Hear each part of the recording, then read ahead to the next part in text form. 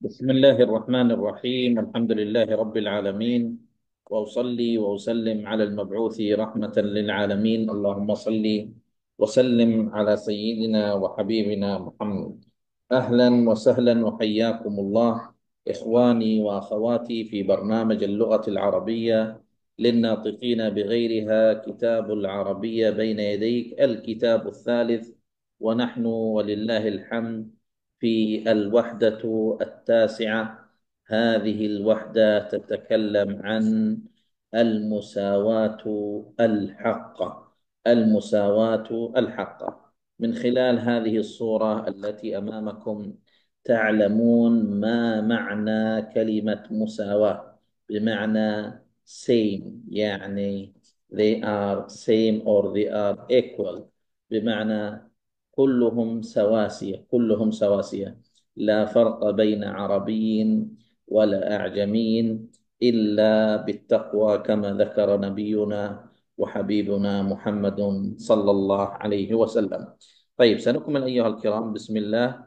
كما أخبرناكم لدينا هذه الوحدة ولدينا مجموعة من الدروس. سنبدأ بالدرس السابع والخمسون. الوحدة التاسعة. الوحدة التاسعة الدرس السابع والخمسون. استمع إلى النص. المساواة الحقة واحد. قرر الإسلام مبدأ المساواة كما قرر مبدأ الحرية والإخاء في العالم. وقد سبق في ذلك دعاة المبادئ في العصر الحديث. اثنان. ولم يكن تقرير هذه المبادئ تقريرا نظريا كما حدث في بعض الدول وفي هيئة الأمم المتحدة حيث وضعت المبادئ ولم ينفذ منها إلا القليل بحسب ما تريد الأمم القوية. وإنما دعا الإسلام إلى هذه المبادئ وطبقها النبي صلى الله عليه وسلم وتبعه الصحابة وعمت المجتمع الإسلامي في أقطار الأرض. ونذكر فيما يلي صورا عملية للمساواة طبقت وتطبق في الدولة الإسلامية. ثلاثة ألف. التكاليف الشرعية من صلاة وصوم وزكاة وحج وغيرها عامة يطالب بها كل مسلم بأن يؤديها بدون استثناء أحد منها. أربعة با الصلاة وهي الركن الثاني من أركان الإسلام تظهر فيها المساواة إذ يقف المسلمون صفوفا يتجاور فيها الصغير والكبير والغني والفقير والأبيض والأسود وكلهم يصلون لإله واحد. وكذلك تظهر المساواة في ملابس الحج الموحدة وفي أداء مناسكه. خمسة جيم. تنفذ الحدود على من فعل ما يوجب حدا من المسلمين بلا استثناء بخلاف ما كانت عليه كثير من الأمم التي كانت قوانينها تنفذ على العامة فحسب. وقد حدث أن سرقت امرأة من بني مخزوم واستشفع أهلها بأسامة بن زيد لحب الرسول صلى الله عليه وسلم إياه. فلما كلم النبي صلى الله عليه وسلم فيها غضب وقال له أتشفع في حد من حدود الله؟ ثم قام فخطب فقال يا أيها الناس إنما ضل من قبلكم أنهم كانوا إذا سرق الشريف تركوه وإذا سرق الضعيف فيهم أقاموا عليه الحد. وأيم الله لو أن فاطمة بنت محمد سرقت لقطع محمد يدها.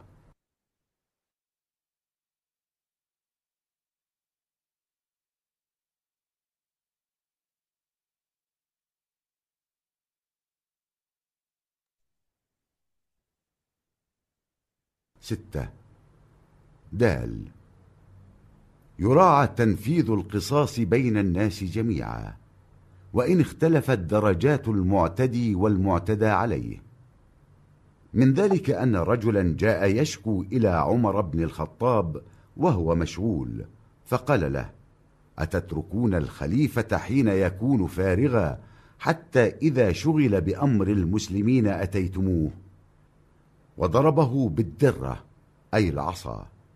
فرجع الرجل حزينا فتذكر عمر أنه ظلمه.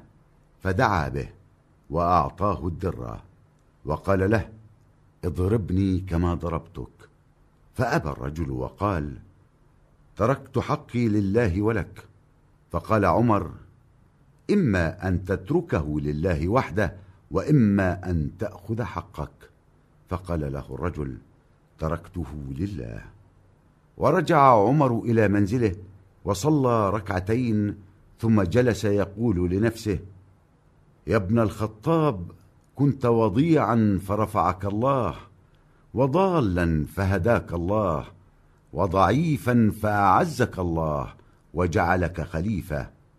فأتى رجل يستعين بك على دفع الظلم فظلمته. ما تقول لربك غدا إذا أتيته وظل يحاسب نفسه حتى أشفق الناس عليه. سبعة ومن هذا المثال ترى كيف أن المسلمين كانوا يطبقون المساواة. وهل هناك أروع من أن يتألم عمر لشيء يسير فعله؟ فيسترضي الرجل ويدعوه إلى القصاص منه ثم يؤنب نفسه هذا التأنيب خشية من الله تعالى. ثمانية. ها وهذا أبو بكر في خطبته عندما ولي الخلافة يقول أيها الناس إني وليت عليكم ولست بخيركم.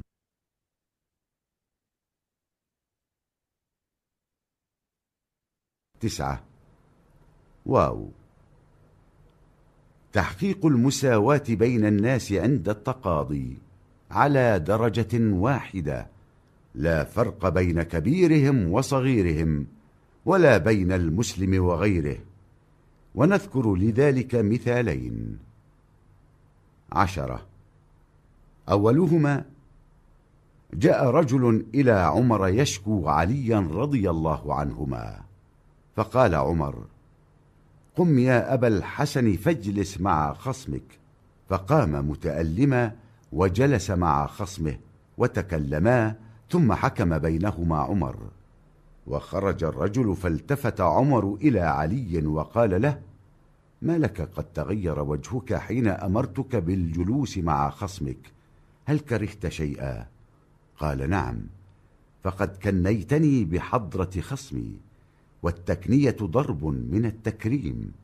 هلا قلت قم يا علي فاجلس مع خصمك. فقبله عمر بين عينيه. أحد عشر. ثانيهما ما فعله عمر من القصاص من ولد عمرو بن العاص وكان أبوه أمير مصر وبين المصري الذي اشتكاه. ثم تأنيبه لعمر إذ اعتدى ابنه معتمدا على سلطان أبيه بكلمته المشهورة يا عمرو. متى استعبدتم الناس وقد ولدتهم أمهاتهم أحرارا. هذا هو الإسلام يدعو إلى المساواة والعدالة في المعاملة. وهؤلاء هم المسلمون يطبقون مبادئه مخلصين. فنعم بها أهل الأرض جميعا. لا فرق بينهم. وإن اختلفت ألوانهم وألسنتهم وأوطانهم. الله أكبر. كما سمعتم أيها الكرام وإن اختلفت ألوانهم وألسنتهم هنا يظهر المعدن الأصلي لديننا الإسلامي. طيب أيها الكرام سنبدأ بإذن الله في هذا الجزء الذي يتكلم عن الاستيعاب وهو عبارة عن التدريب الأول ضع علامة صح أو خطأ ثم صحح الخطأ. سنأخذ الجزء وليس الكل سنأخذ رقم واحد واثنان وثلاثة وأربعة وخمسة أما الباقي سأتركه لكم واجب في المنزل. طيب الإسلام أول من قرر مبدأ المساواة في العالم. هل هذا الجواب ذكر بهذه الطريقة صحيح أم خاطئ؟ ما رأيكم يا كرام؟ أحسنتم. نعم الإسلام أول من قرر مبدأ المساواة رقم اثنان نفذت هيئة الأمم المتحدة كل ما قررته من مبادئ هل هذا صحيح؟ ما رأيكم يا كرام؟ الجواب خاطئ لم تنفذ كل ما قررته بل نفذت حسب ما تريد هذه الأمم التكاليف الشرعية خاصة يؤديها بعض المسلمين يعني مثل الصلاة والصيام. فقط لبعض المسلمين والبعض الآخر لا. ما رأيكم؟ أحسنتم. الجواب خاطئ. هي للكل كل المسلمين بدون استثناء إلا من كان لديه بعض الأعذار الشرعية. من صور المساواة في الإسلام تنفيذ الحدود على الجميع. ما رأيكم يا كرام؟ هل ذكرت بهذه الطريقة؟ نعم لا نفرق بين عربي ولا أعجمي ولا أسود ولا أبيض ولا غني ولا فقير. كانت الأمم السابقة تنفذ الحدود على الشريف والضعيف. ما رأيكم يا كرام؟ لا الجواب خاطئ.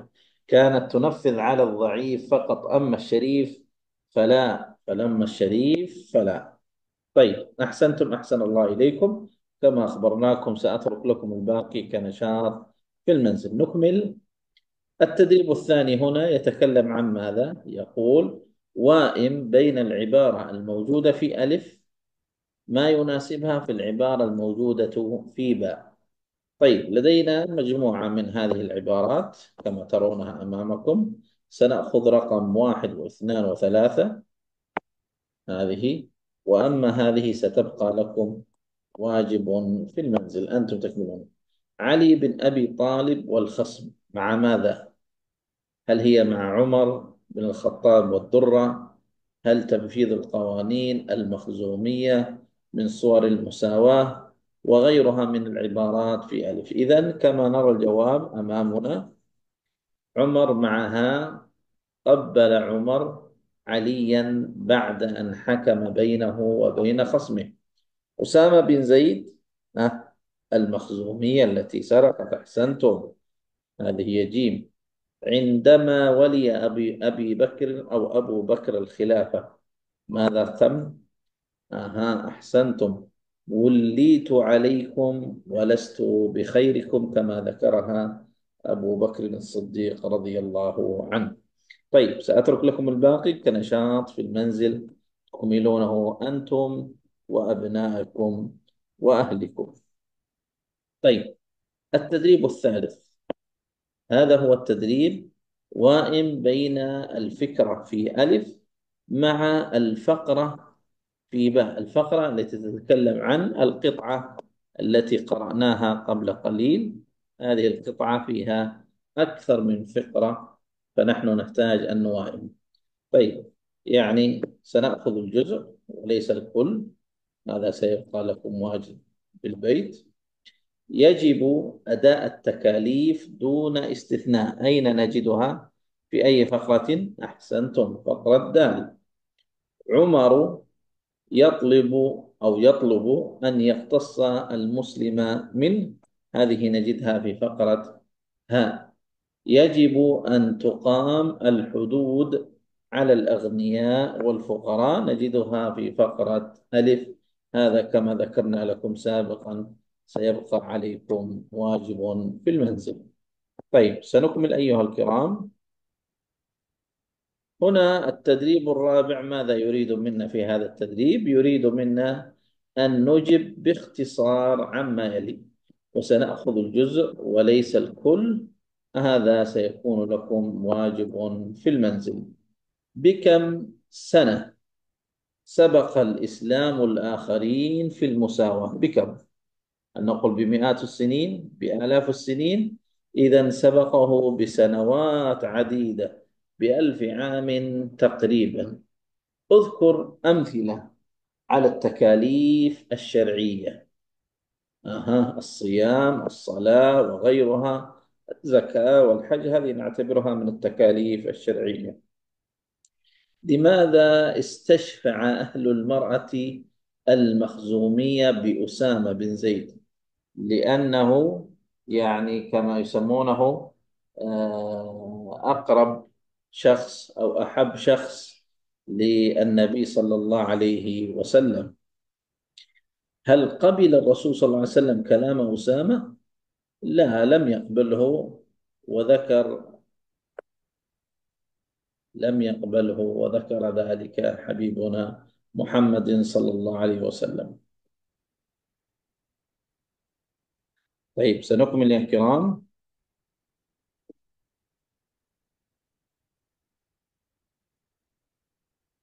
المفردات والمسا... والتعبيرات هذه المفردات والتعبيرات.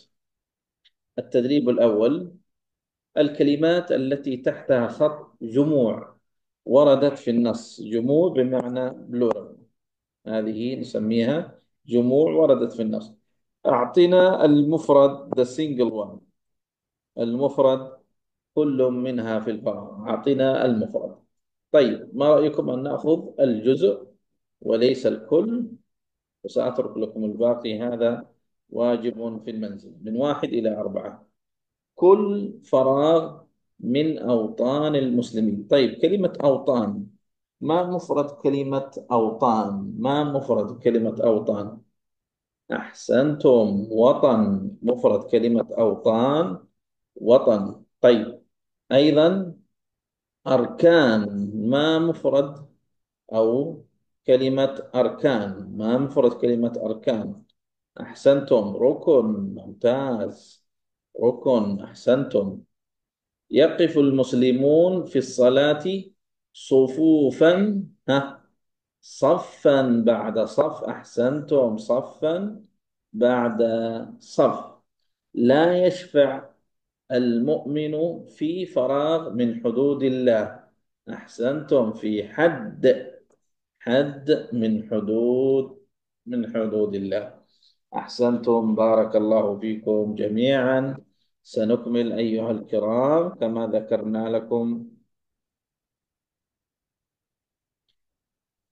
التدريب الذي يليه وهذا التدريب يقول وإن بين الكلمات في القائمة ألف وما يناسبها في القائمة باء وضع هذه العبارات في جمل مفيدة من عندك طبعا لدينا مجموعة سنأخذ الجزء.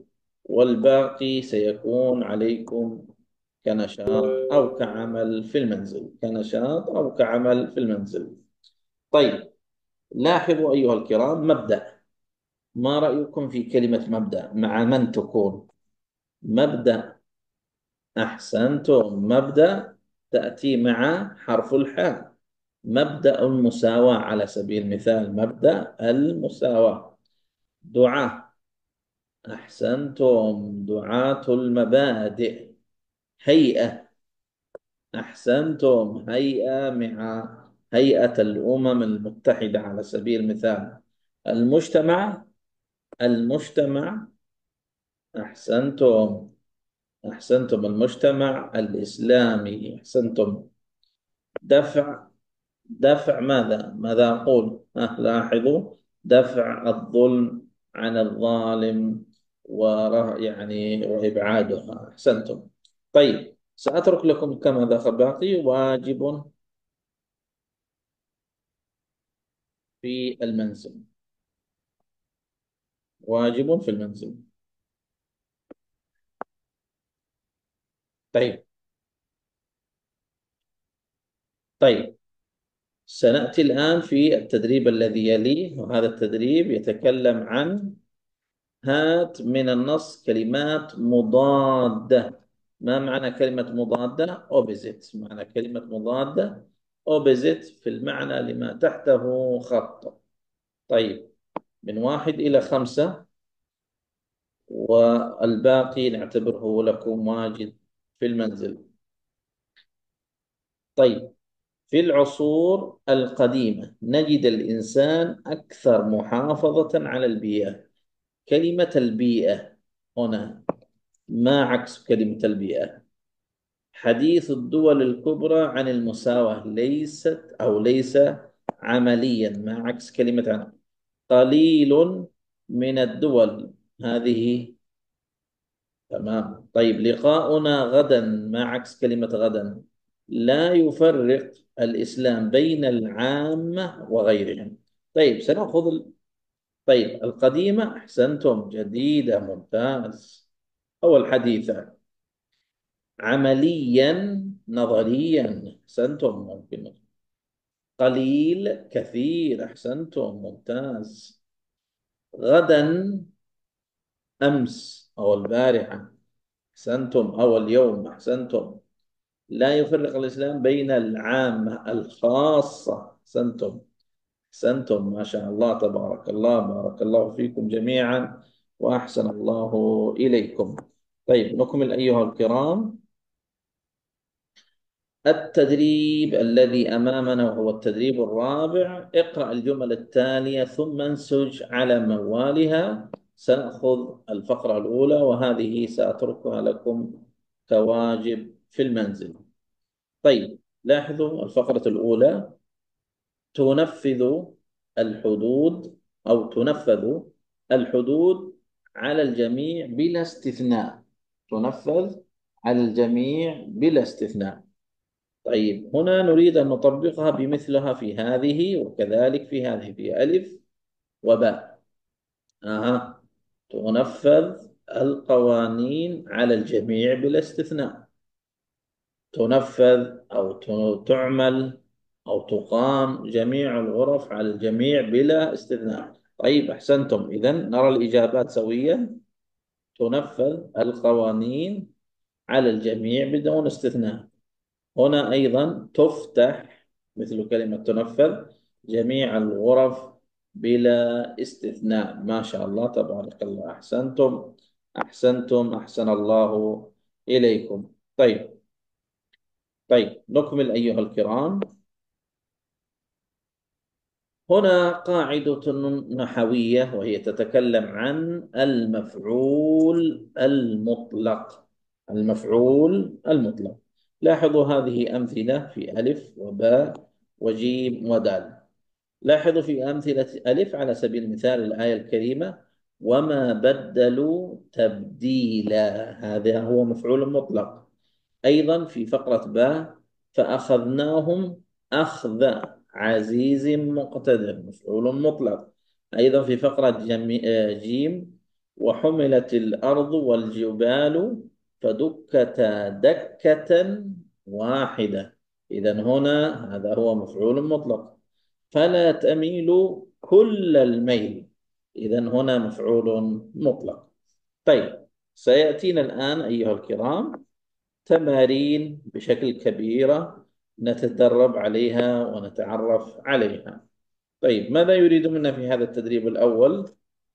يقول استخرج المفعول المطلق وبين نوعه. إذا لدينا هنا تبيين نوع المفعول المطلق.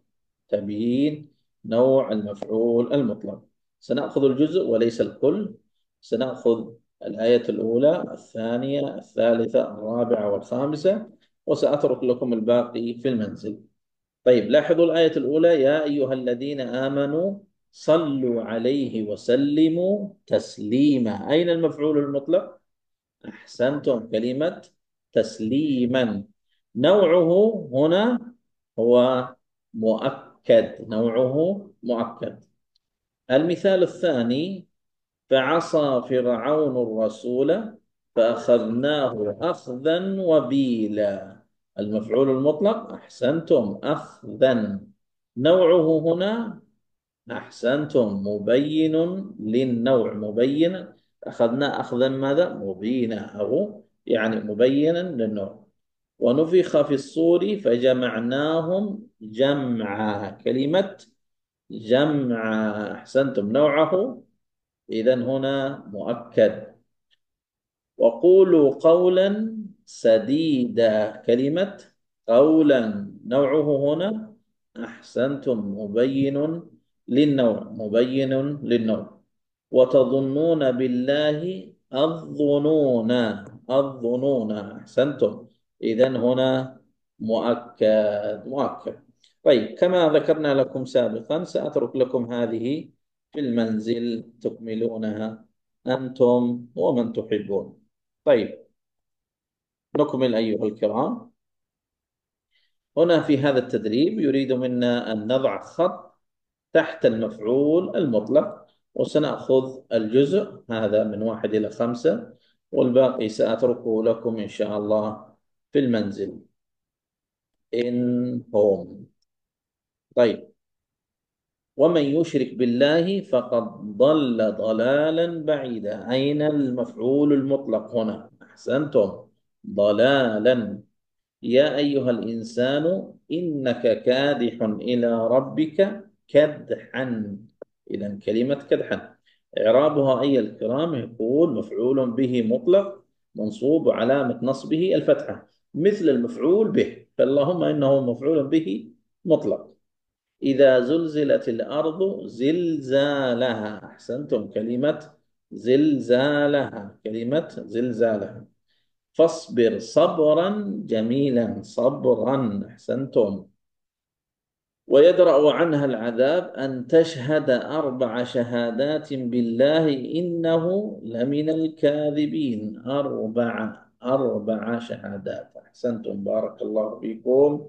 وكما ذكرنا الباقي سيكون لديكم إن شاء الله في المنزل. طيب هنا أيها الكرام هذا التدريب الثالث املأ الفراغ. وهنا التدريب الرابع استعمل الكلمات التالية. املأ الفراغ بالمفعول المطلق المناسب مما بين القوسين. وهذه مجموعة المفاعيل أو خلينا نقول مفعول المطلق لو أخذنا واحد واثنان وثلاثة وسأترك لكم الباقي كواجب في المنزل. انتقم المظلوم من الظالم. أقول منتقم انتقاما ناقما. أحسنتم انتقاما ممتاز. أكرم الرجل ضيفه فراغ عظيما. كريما تكريم إكراما. أحسنتم إكراما ممتاز. تقدم الطالب في دراسته ملحوظا. هل أقول تقدما مقدما قادما؟ تقدما ملحوظا. أحسنتم ما شاء الله تبارك الله. طيب الباقي هنا سأترك لكم إن شاء الله حتى هذه واجب في المنزل تكملونها بإذن الله. طيب هنا المساواة أيضا في هذا الجزء يتعلق في هذا التدريب. اجعل الكلمات التالية مفعولا مطلقا مؤكدا مرة ومبينا للنوع مرة أخرى ومبينا للعدد ثالثا. هذه الأنواع إما مؤكد أو مبينا للنوع. هذه الأنواع فأنت تعمل مثلها على هذه جلسة. نهوض انتصاب ورجوع غيرها تضعها هنا يعني كعبارات وسأتركها لكم إن شاء الله كواجب في المنزل. تكملون إن شاء الله في المنزل. الوحدة التاسعة الدرس الستون. الوحدة التاسعة. طيب هنا الله يجزاكم بالخير. سنتوقف بإذن الله في الجزء اللي يتعلق بالفهم المسموع. سنتوقف إن شاء الله هذا الأسبوع ونكمل إن شاء الله في اللقاء القادم من هذا الجزء الذي يتكلم عن فهم المسموع. أخيرا سبحانك اللهم وبحمدك نستغفرك ونتوب إليك ولا حول ولا قوة إلا بالله. والسلام عليكم ورحمة الله وبركاته.